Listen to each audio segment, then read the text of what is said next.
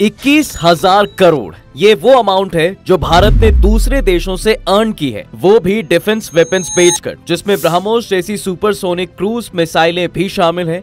और ये तो कुछ भी नहीं, एक और बड़ा माइलस्टोन तब सामने आया, जब भारत ने पहली बार किसी दूसरे देश को स्नाइपर राइफल्स एक्सपोर्ट की।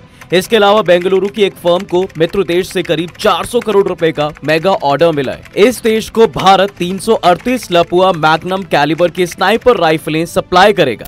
दिलचस्प बात यह है कि सिर्फ़ राइफल ही नहीं, बल्कि इस प्राइवेटली कंपनी को कई देशों से गोला बारूद की सप्लाई का भी ठेका मिला है। और ये डील करीब पाँच करोड़ अमेरिकी डॉलर में हुई है।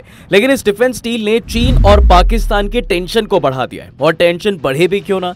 जो भारत एक टाइम पर हथियारों का सबसे बड़ा इम्पोर्टर था, वो आज पिचासी से ज़्यादा देशों को डिफेंस वेपन्स एक्सपोर्ट कर रहा है। वहीं ये डिफेंस एक्सपोर्ट पिछले 10 सालों में 31 गुना तक बढ़ गया लेकिन कैसे? क्यों हथियारों के सबसे बड़े मैन्युफैक्चरर रशिया और अमेरिका भी आज इंडियन वेपन्स में दिलचस्पी दिखा रहे हैं? ये इंडिया के लिए कितना बेनिफिशियल है? जानेंगे आज के इस वीडियो में।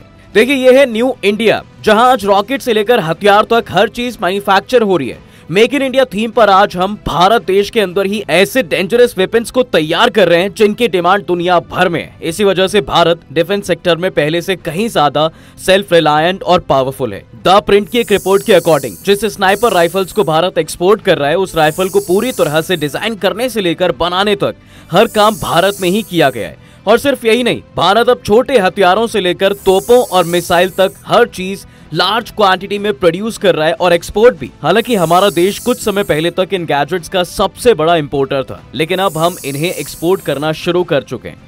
आज दुनिया भर के देश हथियारों के लिए इंडियन कंपनी से कांटेक्ट कर रहे हैं और भारत सरकार तेज़ी से इन डील्स को मंजूरी दे रही है। इसके अलावा, सरकार फॉरेन कंट्रीज़ के डिमांड्स को इन कंपनियों तक पहुंचाकर उनकी हेल्प भी कर रही है। वहीं प्राइवेट कंपनीज़ खुद भी फॉरेन कस्टमर्स ढूंढ रही हैं। यही रीजन है कि भारत के एनुअल डिफेंस प्रोडक्शन ने 2023-24 में पिछले सारे रिकॉर्ड तोड़ दिए हैं और ये रिकॉर्ड तोड़ प्रोडक्शन करीब एक दशमलव सत्ताईस लाख करोड़ रुपए है। इस डेटा को देखकर ये कहना गलत नहीं होगा कि मेक इन इंडिया प्रोग्राम नई ऊंचाइयों को छू रहा है। 9 जुलाई को पब्लिश हुई एक रिपोर्ट के अकॉर्डिंग बेंगलुरु की एस एस एस डिफेंस नाम की एक कंपनी को फॉरेन कंट्रीज़ से करीब 400 करोड़ रुपए के हथियारों का ऑर्डर मिला है। ये ऑर्डर 338 लापुआ मैग्नम कैलिबर वाली स्नाइपर राइफल के लिए दिया गया है, जो 500 मीटर और उससे ज़्यादा दूरी के टारगेट को हिट कर सकती है। हालाँकि ट्रिपल एस डिफेंस की इस राइफल को ऑलरेडी कई देशों को एक्सपोर्ट किया जा चुका है। वहीं कई दूसरे देशों के साथ अभी बातचीत चल रही है। इसी को लेकर इन देशों के रिप्रेजेंटेटिव ग्रुप ने कंपनी के मैन्युफैक्चरिंग और टेस्टिंग सेंटर का दौरा भी किया। यानी इस स्नाइपर राइफल्स के एक्सपोर्ट की काफ़ी पॉसिबिलिटी है। डिफेंस एक्सपर्ट जे सोढ़ी का कहना है कि भारत समेत करीब 30 देश 338 लापुआ मैग्नम स्नाइपर को यूज़ करते हैं। इसलिए कई दूसरे देश के मैन्युफैक्चरर भी इस कैलिबर में कई तरह की राइफलें बनाते हैं। लेकिन अच्छी बात यह है साहब कि इतना कंपटीशन होने के बावजूद भी इंडियन स्नाइपर राइफल दुनिया की सबसे सटीक और भरोसेमंद है। और सिर्फ़ राइफल ही नहीं, भारत में बनी सभी वेपन्स दुनिया के किसी दूसरे देश में बने हथियारों से कम नहीं होती। वहीं ये दूसरे देशों के हथियारों के कंपैरिजन में सस्ते और टिकाऊ भी होते हैं। और यही चीज़ इन्हें डिमांडिंग बनाती है। दिक्कत सिर्फ़ एक है कि हमारे देश में जितने भी साजो सामान बनते हैं, उनमें से मोस्टली वेपन्स की पूरी टेक्नोलॉजी विदेशी है। अब आप सोचेंगे कि ये कैसा मेक इन इंडिया हुआ तो बता दें कि ये स्टार्टिंग जोन है। अगर दूसरा देश हमें टेक्नोलॉजी सपोर्ट नहीं करेगा तो हम डिफेंस एक्सपोर्ट की दुनिया में आगे नहीं बढ़ पाएँगे। और हमारा ये सपना अधूरा रह जाएगा। इसलिए सरकार को सबसे पहले डिफेंस रिसर्च और डिफेंस टेक्नोलॉजी पर खर्च करना ही चाहिए। जितनी जल्दी हम इस सेक्टर पर ध्यान देंगे, उतना ही हम डिफेंस एक्सपोर्ट में ग्रोथ कर पाएँगे। और अगर ग्रोथ की बात करें तो जैसा हमने पहले बताया कि 2023-24 में सरकारी और प्राइवेट कंपनियों ने मिलकर देश में एक दशमलव सत्ताईस लाख करोड़ रुपए से ज़्यादा के विदेशी हथियार प्रोड्यूस किए। और इनमें से इक्कीस हज़ार तिरासी करोड़ रुपए के हथियार भारत ने बीते एक साल में बेचे। ये आज़ादी के बाद से लेकर अब तक का सबसे बड़ा डिफेंस एक्सपोर्ट है।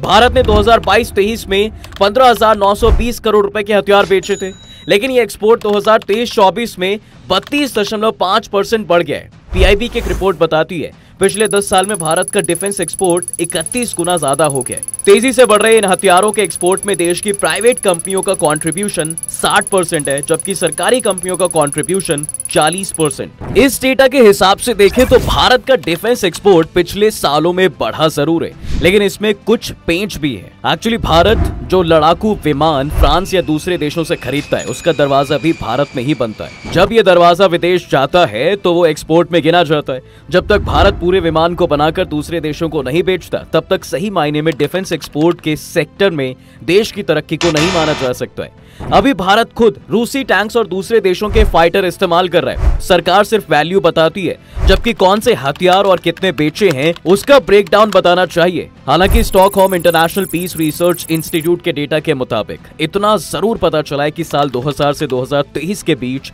म्यांमार, भारत से सबसे ज़्यादा हथियार खरीदने वाला देश है। यानी भारत से सबसे ज़्यादा 31 परसेंट हथियार म्यांमार को एक्सपोर्ट होते हैं। वहीं जंग की वजह से अब रूस भी भारत में बने गोला बारूद खरीद रहा है। 10 मई 2024 को लाइव मिंट ने अपनी रिपोर्ट में दावा किया है कि बीते छह से आठ महीने में रूस ने भारत से तैतीस हज़ार करोड़ रुपए का गोला बारूद और सिक्योरिटी से जुड़े दूसरे सामान खरीदे सबसे बड़ी बात यह है कि भारत को रूस ने यह पेमेंट भारतीय करेंसी रुपये में किया है। हालाँकि इसका कोई ऑफिशियल डेटा नहीं है। इसके अलावा 19 अप्रैल 2024 को भारत ने फिलीपींस को ब्रह्मोस सुपरसोनिक क्रूज मिसाइल की पहली खेप सौंपी थी। बता दें कि फिलीपींस साउथ चाइना सी में चीन को टक्कर दे रहा है और ये पहला ऐसा देश है जिसे भारत ने ब्रह्मोस बेचा है। जनवरी 2022 में भारत से फिलीपींस ने ब्रह्मोस मिसाइल के लिए तीन मिलियन डॉलर, यानी इकतीस करोड़ रुपए की एक डील की थी।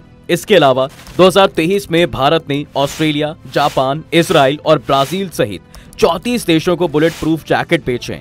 वहीं यूएई, मिस्र, इंडोनेशिया और थाईलैंड समेत 10 देशों ने भारत से पाँच दशमलव छप्पन एम और 155 एम के बीच गोला बारूद खरीदे हैं। इसके साथ ही अमेरिका, यूके और फ्रांस जैसे देशों ने हथियारों में इस्तेमाल होने वाले छोटे छोटे इलेक्ट्रॉनिक सामान खरीदे हैं, जबकि मॉरिशियस सेशेल्स और मालदीव को भारत ने ऑटोनॉमस फास्ट इंसेप्टर बोट यानी पोत एक्सपोर्ट किए उससे भी बड़ी बात यह है कि भारत के सिर्फ़ sniper rifle bullet proof jacket और जंगी जहाज़ नहीं, बल्कि तेजस जैसे एयरक्राफ्ट की मांग भी दुनिया भर के देशों से हो रही है। दिसंबर 2023 में देश की सबसे बड़ी हथियार बनाने वाली कंपनी हिंदुस्तान एरोनॉटिक्स लिमिटेड, यानी एचएएल के डायरेक्टर सीवी अनंत कृष्ण ने एक इंटरव्यू में कहा था कि एलसीए तेजस के लिए तीन देशों, अर्जेंटीना, फिलीपींस और नाइजीरिया के साथ डील को लेकर बात आगे बढ़ गई है। इसके अलावा बोत्सवाना और मिस्र जैसे देश ने भी तेजस को लेकर अपनी इच्छा ज़ाहिर की है। उनसे पहले 5 अगस्त 2022 को संसद में रक्षा राज्य मंत्री अजय भट्ट ने पहली बार इस बारे में इंफॉर्मेशन डिस्क्लोज की थी। उन्होंने अपने बयान से पूरे सदन को हैरान कर दिया था। एक्चुअली उनके अकॉर्डिंग सुपर पावर अमेरिका ने भी तेजस एयरक्राफ्ट को खरीदने में दिलचस्पी दिखाई है। रक्षा राज्य मंत्री भट्ट की माने तो हिंदुस्तान एरोनॉटिक्स लिमिटेड यानी एच एक इंजन वाले इस फाइटर जेट का फैसला करती है। इसलिए जब मलेशिया ने भारत में बने स्वदेशी विमान तेजस को अपने फाइटर जेट प्रोग्राम के लिए चुना था, तब मलेशिया ने रिक्वेस्ट फॉर इंफॉर्मेशन यानी आरएफआई मांगा था, जिसका जवाब एच ने दे ही दिया था। एक्चुअली मलेशिया 18 ट्रेनर यानी एफ़ एल आई खरीदना चाहता था। तब मलेशिया के अलावा तेजस एल सी ए में अर्जेंटीना, ऑस्ट्रेलिया, मिस्र, अमेरिका, इंडोनेशिया और फिलीपींस भी इसमें अपना इंटरेस्ट दिखा रहे थे।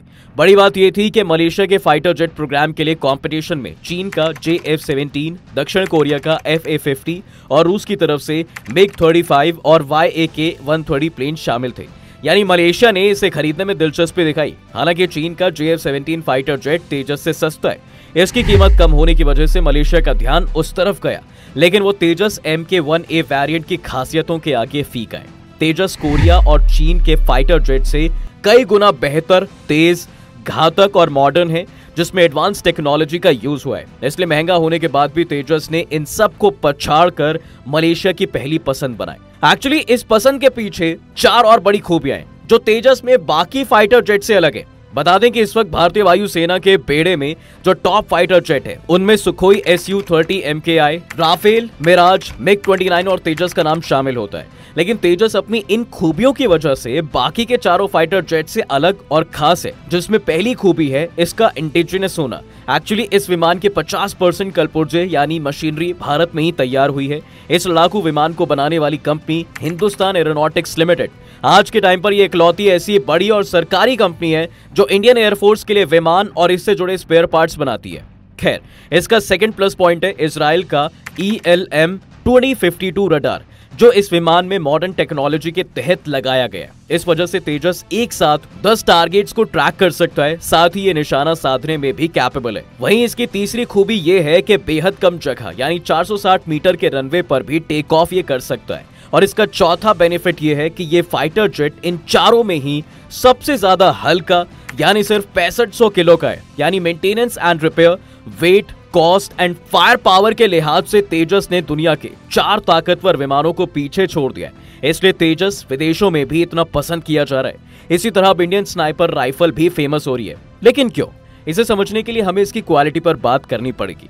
वहीं ये जानना भी ज़रूरी है कि इसके नाम में लापुआ क्यों लगा है? तो बता दें कि स्नाइपर राइफल एक खास तरह का हथियार है, जिसका यूज़ लंबी दूरी के टारगेट को एक्यूरेट निशाना लगाने के लिए किया जाता है। दुनिया की पहली sniper rifle Whitworth rifle है। जिसे British engineer sir Joseph Whitworth ने अठारह में डिज़ाइन किया था। 1861 में अमेरिकन सिविल वॉर के ड्यूरिंग यह राइफल बड़े लेवल पर यूज़ की गई थी। वहीं भारत जिस स्नाइपर राइफल को बेच रहा है, उसमें 333 कैलिबर का लापुआ मैग्नम कारतूस यानी गोली का इस्तेमाल होता है। ये खास तरह की कारतूस है, जिसे 1980 के दशक में फिनलैंड के लापुआ शहर में तैयार किया गया था और यही वजह है कि इस राइफल में इस्तेमाल होने वाले कारतूस के नाम के साथ लापुआ जोड़ा गया भारत ने स्नाइपर राइफलों का एक्सपोर्ट शुरू कर दिया है, लेकिन इंडियन आर्मी खुद कई सालों से अपने लिए ऐसी राइफल ढूंढ रही है। यानी उनके हाथ अभी तक ये राइफल नहीं लगी। बता दें 2019 में आर्मी की नॉर्दर्न कमांड ने लिमिटेड नंबर में 50 कैलिबर M95 बरेट और 338 Lapua Magnum Scorpio TGT Beretta खरीदी थी। वहीं अब डेढ़ साल से ज़्यादा का समय हो चुका है। सेना की ओर से लगातार 4500 स्नाइपर राइफल्स की बोलियाँ लगाई जा रही हैं। ये इतना बड़ा और ज़रूरी ऑर्डर है। बावजूद इसके इन राइफलों की टेस्टिंग अभी तक शुरू नहीं हुई है। एक्चुअली रूस यूक्रेन युद्ध ने कई देशों की सप्लाई चेन को अफेक्ट किया है। और भारत इस खाली जगह को भरने की कोशिश कर रहा है। लेकिन डिफेंस सेक्टर में बदलाव की ये कहानी एक दिन का तैयारी का रिज़ल्ट नहीं है। सरकार ने 2025 तक 14,000 करोड़ रुपए के डिफेंस प्रोडक्शन का टारगेट रखा है जबकि अगले पाँच सालों में पैंतीस हज़ार करोड़ के एक्सपोर्ट की तैयारी है। और ये देश के लिए अच्छी खबर है। दरअसल कुछ साल पहले तक भारत वर्ल्ड में डिफेंस इक्विपमेंट के टॉप तीन इंपोर्टर्स में से एक बन गया था। पहले डिफेंस बजट का ज़्यादातर हिस्सा सैलरी और पेंशन पर खर्च होता था। इसमें हमारी जीडीपी पर असर पड़ता था। लेकिन फिर भारत ने सत्तर फ़ीसदी से ज़्यादा हार्डवेयर बंद करना शुरू कर दिए और यही हमारे लिए टर्निंग पॉइंट साबित हुआ। आपको क्या लगता है, भारत की इस तरक्की का राज क्या है? भारत का आगे आने वाला फ्यूचर क्या होगा? कमेंट ज़रूर करें। वीडियो को लाइक शेयर और चैनल को सब्सक्राइब करना बिल्कुल ना भूलें।